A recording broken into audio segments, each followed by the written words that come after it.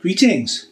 I bought this RF modulator um, a few years back because I've got a FreeSat box and the FreeSat box doesn't have an aerial output. Uh, I bought this so I could um, basically broadcast this and pick it up on the other TVs around the house instead of having to buy separate boxes. Trouble is, this doesn't support any sort of magic eye functionality. You can't use the remote upstairs and beam it downstairs. So I bought this one, which is a Triax TriLink, which is great. You can see it's got an AV input, AV output, same as this has, an input and output. Uh, the aerial, in fact, it's got two aerial outputs. And whereas this one, you select your channel with the up and down buttons, on this one, you select it with these controls on the end. But the trouble is, what you're watching now and what you're listening to now is this one. If I change channel to the Triax, listen to this.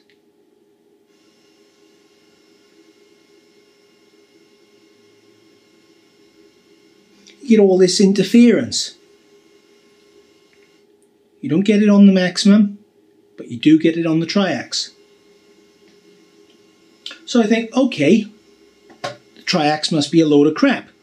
Why else would it be doing that?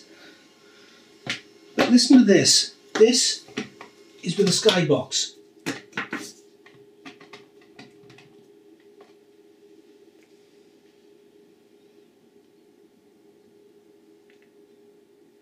No issues there.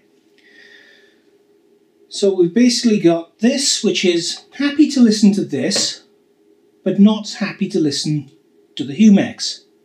Yet the maximum is happy to listen to both. So what can you do about that? Well, one option would be to fit an audio mixer in line. As you can hear, that's all gone silent now. It's been an idea way for fishing for mussels. Sounds clear as a bell. Than actual flat beds. But that's kind of chunky and impractical. in a session. Um, well, it depends really. I mean, quite. So what on earth is going on? Well, here's the sound that's actually coming through. This is where we've got the sound coming into the Triax. It's being looped through into this, and then from here, we're taking the tap off and monitoring it on the oscilloscope. And there's a lot of interference here, even though the maximum can't actually hear it. And the frequencies seem to be varying quite wildly. It's, it's a lot of, a lot of just noise, really. Now the uh, the Skybox, if I hook it up, has a lot less noise and there's nothing coming actually. The modulator's not picking any of that up. So what can we do about it? Well, let's take a look at these modulators inside and see if we can figure anything out from that. First of all, this is the, the maximum. It's a single layer board. It's all based around, there's a, a PIC microcontroller here. Uh, all that is doing basically is driving the display and choosing the channel of the um, the RF modulator. That's all the um, the PIC is doing. Other than that, it's all separate components. And in fact, we can take a look at the circuit diagram on here. And as I said, you've got the, the pickup here, which is basically controlling the LED display and the push buttons, and it just has these connections then which go along and drive the RF modulator just to choose a channel. Down here then we have our video amplifier because the video input is, is buffered and we have the audio amplifier down here as well where we have our left and right audio inputs and they're both run through these buffers, they combine together and then this goes off to the modulator. A completely different design here. We've got a microcontroller which is an EM78P447SAMJ. Um, there's no shielding in here apart from what is in the uh, the board itself. The bottom of the board is mainly mainly copper, and there's a lot of um, copper, you know, copper on the surface as well. But uh, this doesn't appear to be sort of any sort of uh, metallized plas uh, plastic. and it's it seems to be based around, apart from the microcontroller, this chip here, which is an ASE 373 CAEF, and I can find no documentation anywhere on this. You can find a few people selling it, but no documentation on it. But whereas the other modulator had these transistors in its um, buffering, uh, these ones up here, and there's another one tucked down there as well. This one doesn't have a buffer. The input circuit is much simpler. And uh, because the rest of the circuit's so complex, I haven't actually uh, gone into tracing the rest. All I was interested in is the input stages. And you can see all we've got is left and right come through these two capacitors and into a pair of resistors. That's um, shunted down to ground there as well.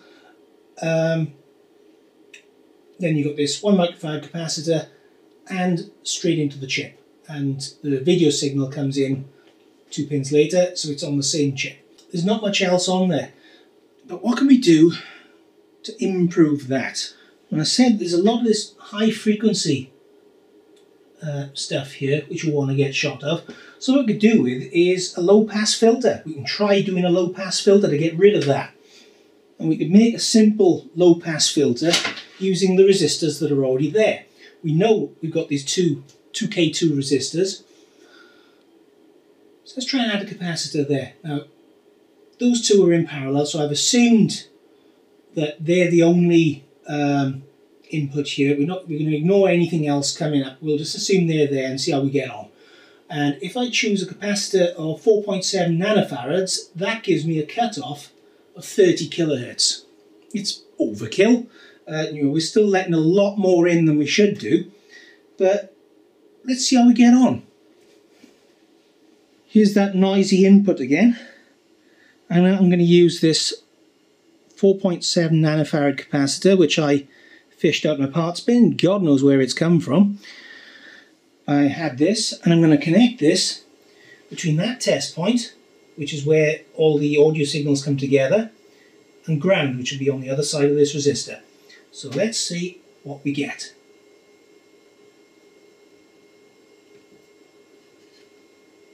in. Try not to bend the pins.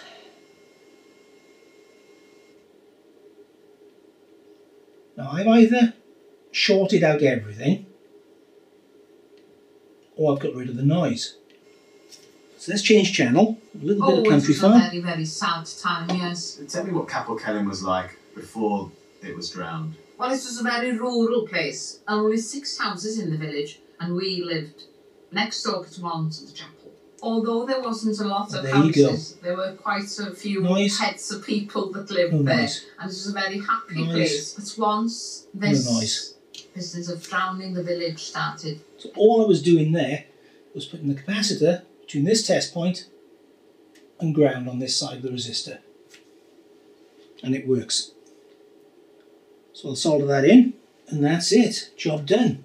You can see on the scope the interference is still finding its way down the line but beyond the two resistors in here where it's actually feeding into this chip the um, the capacitor is acting as a low pass filter and you can hear if I go back into um, Countryfile again Not all about broccoli.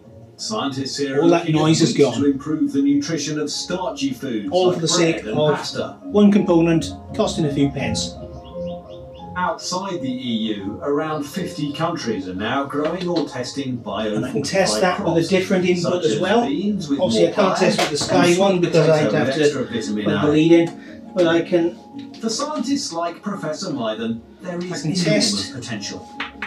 With the mixer instead and that's more fine Vegetables, So I haven't affected it that on food. other and of course in addition devices to that, besides the Humax actually either uh, less.